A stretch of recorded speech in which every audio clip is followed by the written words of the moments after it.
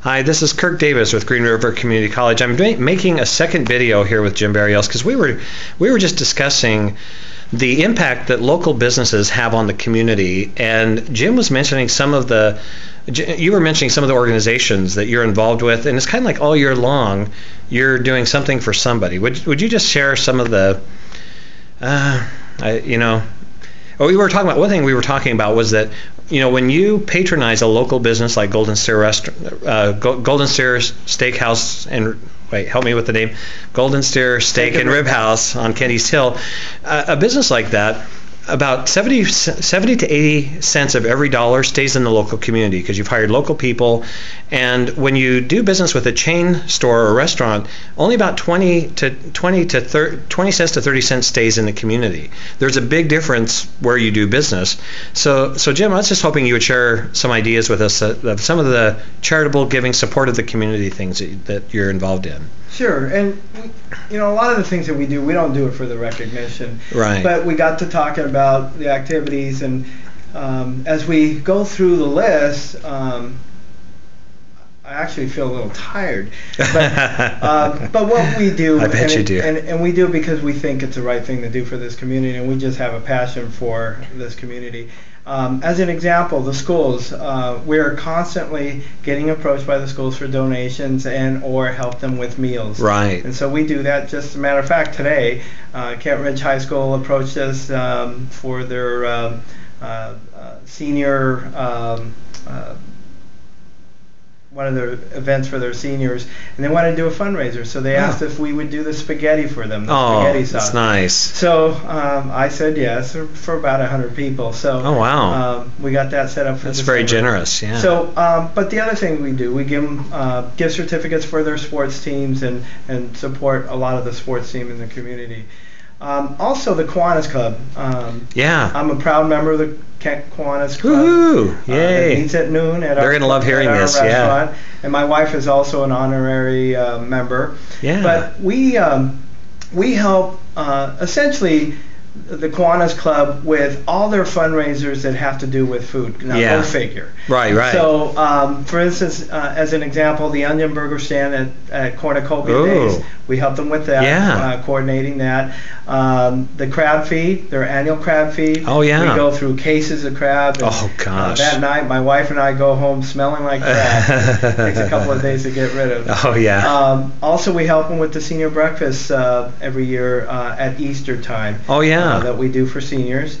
And then uh, we also uh, last year started hosting the Willows Place, and it's a co-op that we do with Kiwanis Club and the Wi- Willows Place uh, group. oh yeah. And we did a coat and clothing drive. oh yeah. And so we helped with that fundraiser. And uh, Suzanne was mentioning that that, that was exhausting. I mean, yeah, that's yeah, that's a lot of work. a- a- after we got all the donations and and to, in order to eat the meal, and we have it at our establishment, um, uh, they have to donate a coat or piece of clothing. Oh, yeah. And, they get you know the meal. Oh, And so after everybody leaves, and we had close to 100 people that showed Wow, up. that's and nice. just tons of clothing. Oh gosh. Uh, Suzanne and a group of folks went through and they organized it and, and Wow. got it distributed to uh, the folks that needed it. Yeah. Um, also, uh, once a month through Willow's Place, we um, help feed the uh, uh, the homeless in, in the community. How often do you do that? Uh, we do it the third Thursday of every month. Oh, every month. Yep. Wow. Third Thursday of every month. And uh, typically, um, unfortunately uh, for the community, uh, it's a growing number. Yeah. So I'm. they get anywhere from 40 to as high as 90 people. Yeah, you know, it is increasingly sad how many people are in need, and yet, you know, it is a business like yours. And we were just talking about how small businesses really are the backbone of our local economy, and your success, and that's why I do what I do because, you know, because you're doing what you're doing. You know, you're out there giving and, and helping, supporting, and you're not just, it's just not passively giving money. I mean, you guys are involved. You're sweating. You're smelling like crab. You're exhausting yourself, sorting out the clothing, getting to the right people. I mean, you're Yeah. hands on. It's, it's a little bit, like you said, more than just giving money. It's uh, a little bit of giving of ourselves. And Yeah. I have to say that um, uh, some of our biggest assets, um, as far as our business is concerned, is the staff, and, and they volunteer on a lot of oh, these yeah. uh, events. They give, yeah. And, and, so do our customers.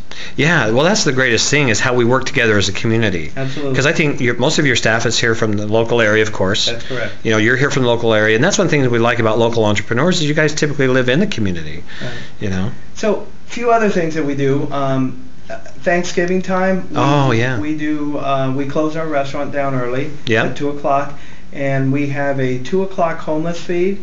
Uh, and a four o'clock community feed. I, I, like to call it a community feed. Now, if somebody's listening to this, is there a way that they can contact you or participate or help if, if they want to? Yeah, well, that's the cool thing about that. Uh, over the last several years, we've done this every every since we've been in existence. Oh, okay. Uh, well, every since we took over the yeah. restaurant. And so we're about to do our 13th year of uh, doing this homeless feed. Oh wow! Uh, our community feed. Yeah. Sorry, but you know we we like. We, we have partnered up with our food vendor, bread vendor, yeah. and our linen company, and they help us with this. And uh, we get uh, volunteers from our staff, customers, friends, neighbors. Oh wow! Uh, they, they participate in this event, and um, I have the staff. Everybody that's volunteering, they wear black pants, white shirts. Oh, nice! And my wife sets up the room beautifully uh, with the Thanksgiving theme, and uh, we have white linen and linen napkins. Oh for wow! Oh, so it's done really nicely. Oh yeah, and it's the first time. It's a one time a year for a lot of these folks. Who we've seen them come in over the years that they go out to eat. Yeah. Get a, a wonderful meal. My goodness. Now, so that's Thanksgiving. Is there anything you do after Thanksgiving? Um, yeah, we we also we're in the middle of um, uh, just last week we we help with the we actually started doing this uh, um, 10, 11 years ago, can't remember. Uh, we did the first uh, uh, Greater Kent Historic Society dinner oh, fundraiser. Yeah. Oh, that's and nice. so we worked with them in developing this, and so we do the dinner for that, and it's, it's a fundraiser. Yeah. And then also we do the Kent Food Bank breakfast. Again, that was another thing oh, we started nice. with them years ago, and that's coming up next week. And so we do the breakfast for them. that's the one day a year that my wife will get up early. Wow. Yeah, she usually she'll break her yeah break her tradition. At nine o'clock, so she has to be up ah, at five, five o'clock oh, in the morning. that's a sacrifice. Yeah, that is that is a sacrifice. Yeah, absolutely. So, um, and then we also. Um, uh, for Christmas, we typically um, adopt, and we've done this every year, uh, two to three families in the community that are oh, in yeah. need. And with the help of our staff, customers, uh, we're able to provide a Christmas for these families. These families in need, yeah. Uh, and um, and the real cool thing about it is we always have um, a volunteer to be Santa. And so Ah. what we do is we we we you know gather donations and and uh, gifts, and then we deliver uh, the gifts just before Christmas to these families, and Santa is, is the Oh. one who delivers them. So Do it's know- a really good experience. Well, I have to, I have to tell you when you when we were talking about this, I asked if we could film this because it's not something that you would normally talk about. But I wanted to give everybody kind of an inside look because not everybody gets to hear this, not everybody gets to see this side. And right now, there's a lot of really negative publicity against businesses and business owners and the rich versus the poor and class warfare. There's a lot of this stuff, but I wanted people to really understand that that's not what's really happening out there.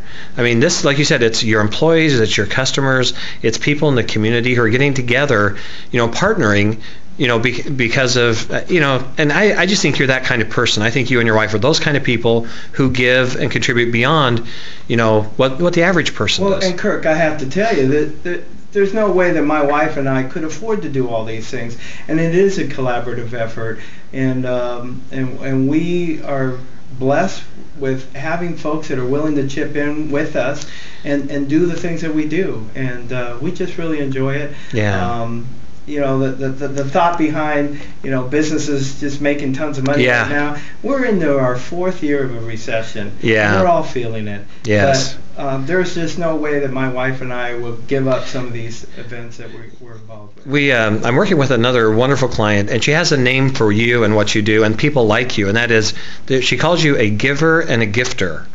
And this is the kind of people who they they choose to contribute to the world. You know, they want to give of themselves.